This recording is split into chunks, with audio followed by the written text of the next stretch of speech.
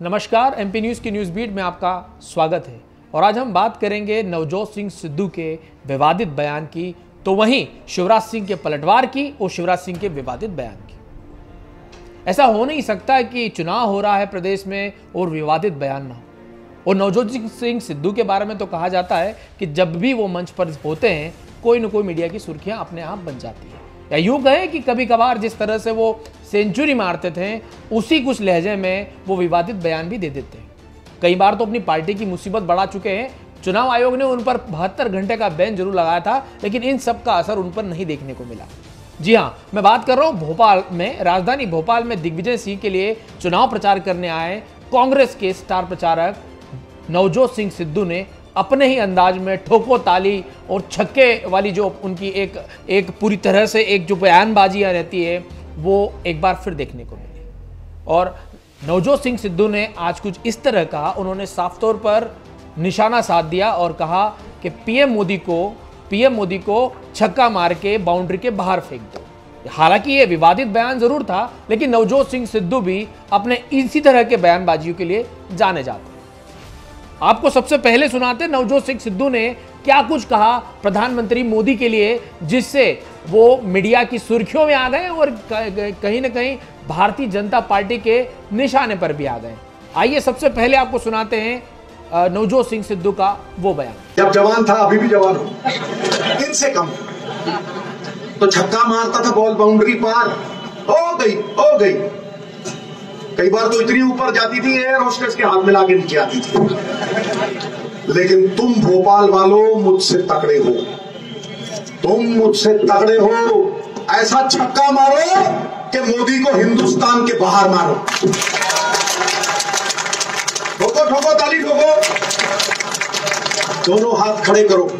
जी हाँ आपने सुना होगा, एक बार फिर नवजोत सिंह सिद्धू ने अपनी बयानबाजी के चलते भारतीय जनता पार्टी पर जोरदार निशाना साधा। लेकिन चुनाव है, यहाँ सब कुछ चलता है। चुनाव आयोग एक तरह अपनी निगाहें गड़ाए हुए हैं, लेकिन नेता है कि बाज नहीं आते। फिर क्या था? पलटवार का दौर शुरू हुआ और शिवराज सिंह चौहान ने बेबाकी दिखाते हुए नवजोत सिंह सिद्धू पर ट्वीट से हमला बोल दिया। उन्होंने साफ़ तौर पर कहा कि नवजोत सिंह सिद्धू जी आपके दिन चले गए हैं और हम जानते हैं कि आजकल जो आप बेटिंग करते हैं, वो पाकिस्तान की तरफ़ से करते हैं। यानी फिर एक बार फिर भारतीय जनता पार्टी ने राष्ट्रवादी विचारधारा को यहाँ मुद्दा बनाया और नवजोत सिंह सिद्धू का जो पाकिस्तान प्रेम बीते दिनों देखने को मिला था, उस पर उन्होंने तज भी कस दिया। तो ऐसे एक तरफ़ से चौका तो दूसरी तरफ़ से छक्का देखने को मिला। यानी सियासी पारी में बैटिंग और बॉलिंग और तगड़े बल्लेबाजी दोनों ही योद्धाओं के के द्वारा देखने को मिली। लेकिन यही नहीं रुका एक दिन पहले की यदि हम बात करें तो शिवराज सिंह चौहान ने भी दिग्विजय सिंह पर निशाना साधते हुए कहा कि यदि हमने दिग्विजय सिंह का नाम लिया तो नहाना पड़ेगा। आपको सबसे पहले सुनाते शिवराज सिंह चौहान का यह बयान। गुरु, दिग्विजय सिंह, नाम ले लो तो नहाना पड़ता है। वो कह कन्हैया कुमार से क्या करवाऊँगा धन्य दिग्विजय जाको प्रभु दारू दुख दे बाकी मती पहले हर ये देशद्रोहियों का साथी, दिग्विजय सिंह, ये आतंकवादियों को महमा मंडित करने वाला, ये ओसामा को जी कहने वाला, ये जब जी, आपने सुना होगा किस तरह से शिवराज सिंह चौहान ने एक विवादित बयान दिया और कहा कि दिग्विजय सिंह का नाम अगर ले लें तो नहाना पड़ेगा। बहरहाल, ये राजनीति है। यहाँ बयानों के अपने अपने सियासी मायने होते हैं।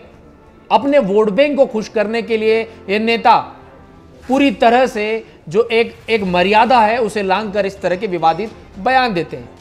चुनाव आयोग की भले ही शक्ति हो, कई नेताओं पर घंटों का बैन ज़रूर लग गया है, लेकिन इन नेताओं के बयान पर अब भी कोई फुल स्टॉप नहीं लगा है। लगातार सियासी पीच पर इस तरह की ताबड़तोड़ बल्लेबाजी करते हुए नज़र आ रहे हैं। बहरहाल जनता को यहाँ पर निर्णय लेना है कि किस बयान के साथ उन्हें जाना है और किसका विरोध करना है। चूँकि ये सियासत के दिन है और सियासी समर में इसी प्रकार के विवादित बयान आएँगे, लेकिन इन सबसे परे पाँच साल का पूरा कार्यकाल देखा जाना चाहिए और उसके हिसाब से वोटिंग होनी चाहिए। इन सब बातों से तो एक ही बात समझ में आती है कि न कोई नीति है राजनीति में, न ही कोई धर्म। हर तरह की बयानबाजी करते हैं नेता ताकि अपने वोट बैंक को खुश कर सके। दोनों ही नेताओं के बयान का विरोध जताना चाहिए। चूँकि मर्यादा लांग कर पीएम मोदी के लिए की गई विवादित बयान भी उतनी ही खराब है जितनी शिवराज सिंह चौहान ने दिग्विजय सिंह के लिए कही। क्योंकि राजनीति में मर्यादाएँ होना चाहिए। इन दिनों जिस तरह से विवादित बयानों के चलते राजनीति का निचला स्तर देखने को मिल रहा है और विवादित बयानों के चलते राजनीति अपने निचले स्तर पर चली गई है, इस तरह की सियासत पहले नहीं थी। और इस तरह के बयानों से पूरी सियासत गर्मा गई है। बहरहाल, इन ताज़ा तरीन मुद्दों के साथ में हम फिर हाजिर होंगे। अब निर्णय आपको लेना है। आखिर आपको किसका विरोध करना है? किसके पक्ष में वोट करना है? क्योंकि सियासत में इस तरह की बयानबाजी तो आने वाले दिनों में और भी देखने को मिल सकती है। लेकिन इन सबसे दूर, इन सबसे परे आपको निर्णय लेना होगा, क्योंकि लोकतंत्र का सबसे बड़ा महापर्व है। और इस महापर्व में आपका एक वोट सरकार बना सकता है, सरकार बिगाड़ भी सकता है तो सोच समझकर मतदान करें। इन नेताओं के भड़काऊ बयान में ना आए और विवेक से वोट करें। फिर हम हाजिर होंगे कल नए ताज़ा तरीन मुद्दों के साथ। तब तक के लिए आप हमेशा बने रहिए एमपी न्यूज़ पे। नमस्कार।